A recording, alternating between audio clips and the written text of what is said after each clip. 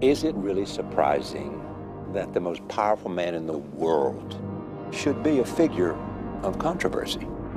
We, as a population on this planet, have been looking for a savior. We're talking about a being whose very existence They are not telling us the truth. challenges our own sense of priority in the universe. Human beings have a horrible track record of Tragedy. following people of great Power power. corrupts, and absolute power corrupts absolutely. Chaos. Maybe he's just a guy trying to do the right We thing. We know better now, don't we? Devils don't come from hell beneath us. They brought their war No, they come from the sky. The world has been so caught up with what he can do that no one has asked what he should do.